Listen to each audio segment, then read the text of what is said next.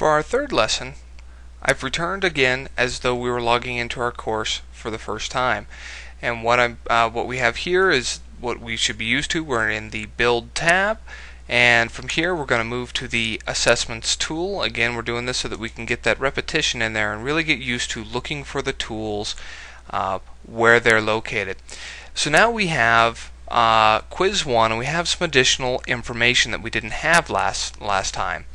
We have the type, and it's a quiz. If this was a, a survey, it would say survey. Um, we have the duration, and this is the duration that we have allowed for our students to take this test. And we have the total number of points, and I'll show you how to edit each of these items. Uh, you can see here that it is a hidden item and I had said that once you create your test and you add at least a single question, you're going to want to come back and set that. Last time we discussed the action link for this item, so we're going to go ahead and click that. We're going to move down and we're going to edit the properties. And this is going to allow us to do some different stuff. Some of this should look very familiar. Quiz 1, your first quiz was a description. The item is hidden, or we can now show the item. We have at least one question in our quiz. The gradebook entry, again, define this as you need it to be. Um, now we're going to get into some delivery options. Um, what this means is that you can deliver all questions at once. You can allow you know one at a time, and they can go back to them, or you can deliver them uh, one at a time, and you cannot return to a question that you have uh, you have viewed. Display assessment in the same browser or in a new browser window. Now this is up to you as the instructor, um, but aware, be aware that some students may have pop-up blockers on, and to notify them, possibly right here in your description, you know, um, I use pop-ups for this quiz, da da da da da, um, and you you can let them know that they should turn off their pop-up blocker. Um, here is the duration. We saw previously that it said they had one hour. We can make this unlimited. We can we can set a predetermined time. We can say 30 hours. We can say 30 minutes, 30 days. Um, now this next option right here becomes very important. let's go ahead and reset this to one hour because I, I don't know that I've ever had an instructor that gave me um, 30 hours to complete a quiz.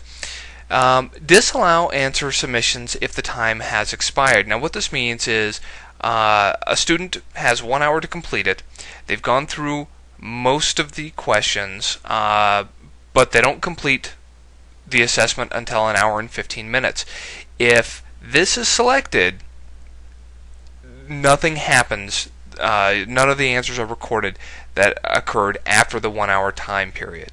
Um, if this is sele uh, not selected, it will allow them to go ahead and submit the answers, uh, but it will annotate that these ones were after the time period, and that then becomes up to you as the instructor to determine how you uh, want to handle those. And that's that's a good item to put into uh, your notes uh, that we discussed last time. Attempts you can allow uh, up uh, you can select up to five attempts or allow unlimited attempts. What this means is the student takes the the, the assessment. If uh, they want to retake it, they can do it up to this amount of times. Now, randomizing questions in a question set for each attempt. This, you know, fairly straightforward. It's going to randomize them in a question set, uh, and we'll have to discuss that in another training. Uh, the minimum attempt time is where you could say maybe one day. So if they took it Monday, they could not take it again until Tuesday. And student score, this is always one of those subjects that, that people become very interested in. Uh, you can release a score uh, immediately after they've been sub, uh, they've submitted their their answers. It can be um, released once it has been graded. They uh, and this is very important if you're having you know paragraph answer questions and stuff like that because there's no way for the system to automatically grade those and it will need the instructor intervention to go in there and go ahead and grade those. Um, you can have the the scores not released until the availability period is is done. What this means is that uh, when you have your students going in there and you have students taking it at different times and you show them the answers uh, possibly uh, for each question so they can know where they went right and where they went wrong, you would certainly not want that to be released uh, for security purposes before all students had taken that.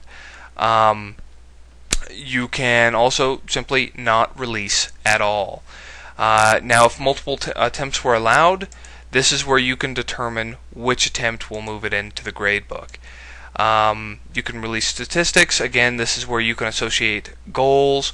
Uh, availability dates. This is where you determine when a student can access this specific assessment and when this assessment um, concludes. You can enter this into uh, the calendar. That makes it very easy for students to um, keep track of their assignments. Um, here are the result property options. Uh, here you can show the feedback, you can show uh, the student score for each question, and this is where you get into the debate of do you want the students having the answers or not, and this is where you're going to set those options. Um, here are the submission properties. So when a student submits an email or submits the assessment, you can have an email sent to them saying, you know, your assessment has been submitted.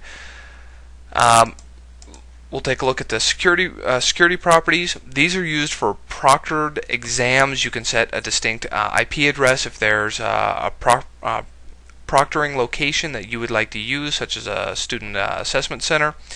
Um, you can give them a proctor password, which means the student cannot access this specific quiz, even though it's online, unless they're in uh, the location you want them to be with someone that you want to be pro uh, proctoring the exam.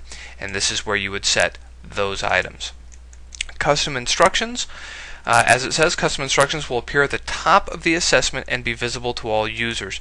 So this is where you might want to put in um, that there's going to be you know pop-ups used, or that you may be using some different type of applications, or you know, hey, this is an OpenNote uh, test. Go ahead and make sure you have this or that. Um, so this is where you can you can put this in. This concludes our training. Thank you very much.